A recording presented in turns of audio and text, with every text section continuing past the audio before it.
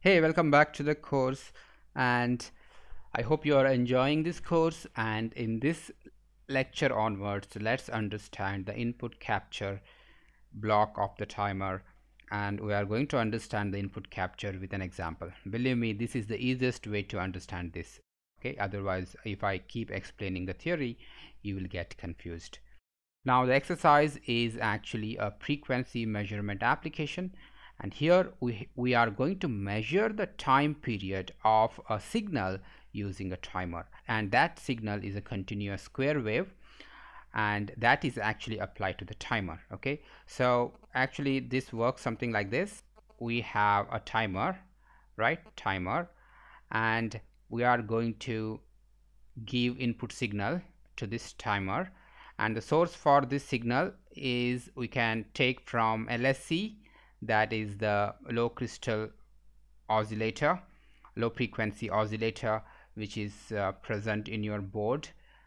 Okay we actually connect LSE to the timer and then we can measure what exactly is the time period of that uh, low frequency crystal oscillator. And if we know the time period it is very easy to calculate the frequency isn't it? So I will demonstrate uh, this application with LSE and later you can also use HSI as an input signal to the timer and then you can measure the frequency. And we actually know the frequencies of these clock signals isn't it? So HSI is 16 megahertz and LSE is 32.768 kilohertz right? So remember that these are not timer clock frequencies. So they don't drive timer okay those are external signals okay connected to the timer in order to measure the time period of those signals. Great. Now let's see how we can do this. So now let me take you to the reference manual and let's go to the basic timers. And here in the basic timer if you just browse through this okay so this is a block diagram of the basic timer. You already know most of the most of the components of this uh, block diagram. And if you just observe this uh, diagram you will find that there are no inputs to the timer isn't it? So that also means that the timer lacks input capture pins. So input capture pins or channel are actually used to feed external signals to the timer okay? And this timer lacks input channels okay? It also lacks output channels. So that's why it's called as a basic timer. So we cannot use basic timer for this purpose and we have to take a look into some other timers. Now let's go to the general purpose timers. Now in the general purpose timers we have timer 2 to timer 5 and timer 9 to timer 14 so you are free to use whatever timer you like. So I would go for let's say timer 2 okay and if I just browse this document and here it is you can see that the block diagram is little complex in the general purpose timer compared to the basic timer okay? But remember that general purpose timer also includes basic timer. So when you see a complex block diagram in your reference manual so don't get intimidated because most of the time you have to concentrate on only those information which you really want okay? Because the block diagram it's a generic block diagram for the general purpose timer. And since it is having lots of feature it looks little complex. So don't get intimidated and just concentrate on those things which you really want. That's it okay? So now here we don't care about all these details. So first let's identify the basic time-based unit in this general purpose timer. And it is very easy to identify. Here it is. This is actually the basic time-based generation unit right? So you are you already know this prescaler counter and auto reload register right?